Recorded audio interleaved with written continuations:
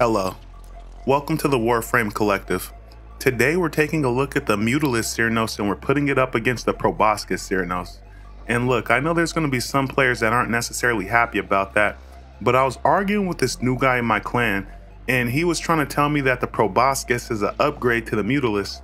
And I was trying to explain to him that just because you need the Mutalist to build the Proboscis Cernos doesn't necessarily mean it's an upgrade. It's more like a side grade. And then this motherfucker was like, well, what the fuck is a side grade? So yeah, here we are, guys. So if we start by looking at the base stats of these weapons, we can see that the Proboscis Cernos has a 7% crit chance with a 1.9% crit multiplier and a 43% status chance. And when compared to the Mutalist Cernos, you can see the Mutalist Cernos has a 15% crit chance with a 2x times crit multiplier and a 49% status chance. And the difference between the Mutalist and the Proboscis is the Proboscis does most of its damage in slash while the Mutalist does most of its damage in impact. But one big difference is the Mutalist has innate toxic while the Proboscis Cernos has innate viral. So we're gonna start with an unmodded Proboscis Cernos just to see how this weapon performs at base. So as you guys can see, we have some level 160 heavy gunners, and this is just to see how the weapon performs at base. And the intrinsic trait of this weapon is when you fire a charge shot at an enemy, it spawns out tendrils that groups enemies together. And as you can see, not only is the Proboscis Cernos a really good bow, but it also provides some really decent crowd control, so keep that in mind.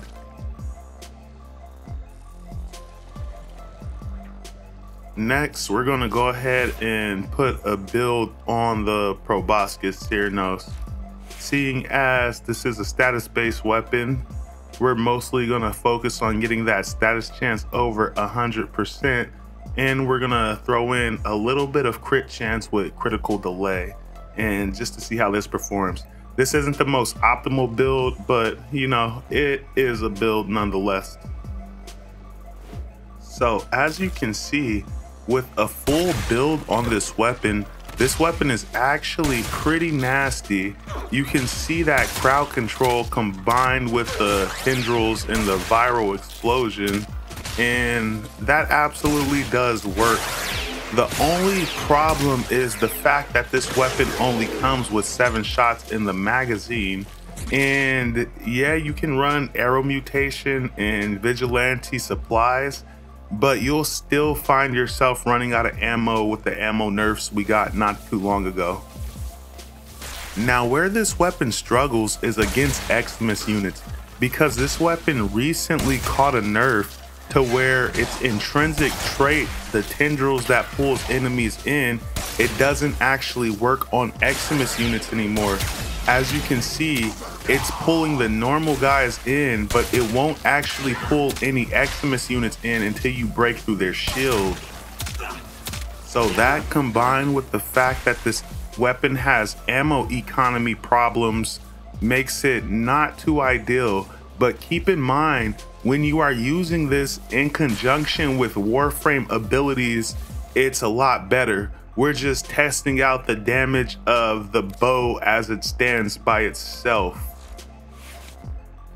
So we do have a Riven. Unfortunately, the Riven only gives us a little bit of status chance. And I know some people are going to be like, oh, that's not even the same build. Of course, it's not the same build because when you have to add a Riven to the build, it changes up the mods that are available for the build. But anyway, guys, this is how the weapon performs with a Riven mod.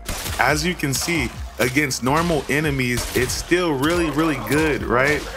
But against Eximus units, it's still gonna struggle and you're still gonna have ammo economy problems.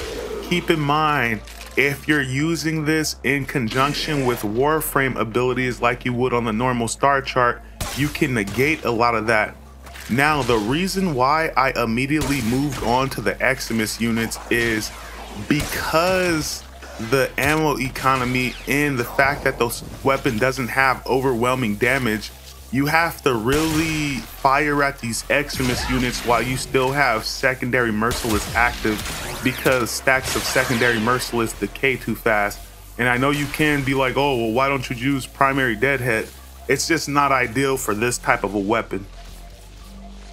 But yeah, the Proboscis Cernos is actually really good. You just need to use it in conjunction with Warframe abilities. Next, we're to take a look at the Mutalist Cernos. And as you can see, first thing we're gonna do is we're gonna test this thing out with no mods. And remember, this thing is intrinsically toxic. And as you can see, that initial shot doesn't do a lot of damage. It does about 55 impact damage to 220 on a critical, but most of its damage is coming in those toxic stacks. If you look above the enemy's head, as you can see, we've already applied over 50 stacks of toxin to this guy but it's not enough to break through their armor. So we're gonna go ahead and put on a full build. Now, this build is nothing special. It's gonna be your pretty standard build. Keep in mind, when we add the Riven to this, it's gonna change up the build a little bit. But for now, we're gonna go with a standard corrosive build.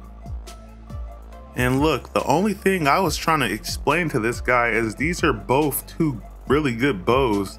I'm not sure that I would be willing to totally sacrifice my Mutalist Cernos for a Proboscis Cernos, but I felt like this guy didn't even give the Mutalist a chance. He just kind of leveled up so he can get the mastery and immediately used it for the Proboscis. So yeah, that kind of was frustrating a little bit.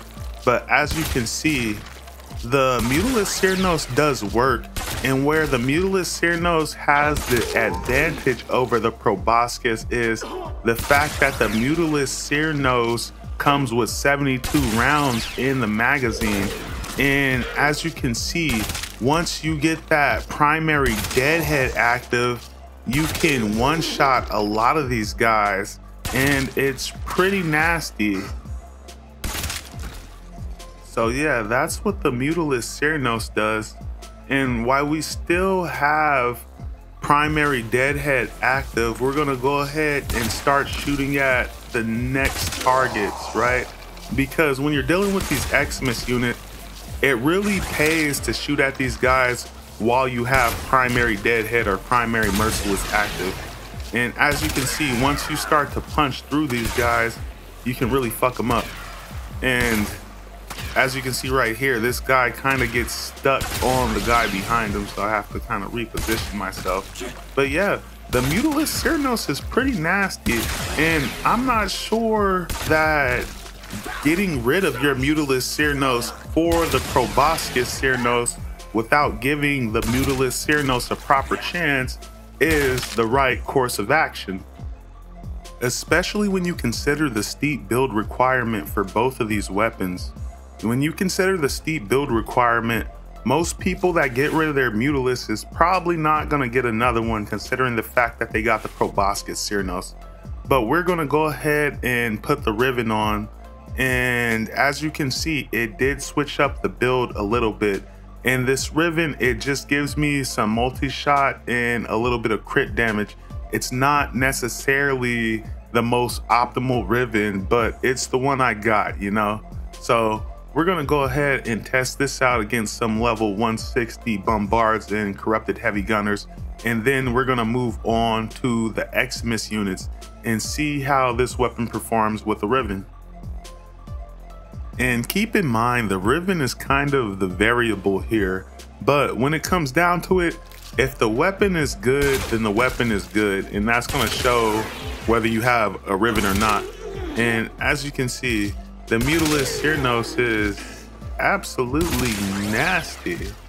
The Mutalist Cernos is pretty crazy good. And yeah, I don't know if I would give up my Mutalist Cernos for the Proboscis Cernos without getting another Mutalist Cernos in the meantime. So we're gonna go ahead and put this up against the Extremis unit. And as you can see, once you have all of your buffs active, this thing damn near one-shots the Extremis units as well as the Bombard. Now we aren't gonna sit here and say, oh, this bow is better than the other bow, because like I explained, these bows are two totally different bows that do two totally different things. And when you're using them in conjunction with Warframe abilities, they're a lot more effective. So we're gonna go ahead and go to the Steel Path Void for a little bit just to see how these weapons perform. This is kind of like the expectation versus reality test, you know, where when you're actually on the star chart, sometimes the results are a lot more different than in a controlled environment. And as you can see, the Proboscis Cernos is absolutely doing work, but the only problem is I'm still running out of fucking ammo. Even with a fully maxed out arrow mutation mod, I am still running out of ammo with this weapon and it's a real problem. But yeah, guys, the Proboscis Cernos is still a really good bow, and we're gonna go ahead and finish up here. And we're gonna test out the Mutalist Cernos next on Steel Path Void.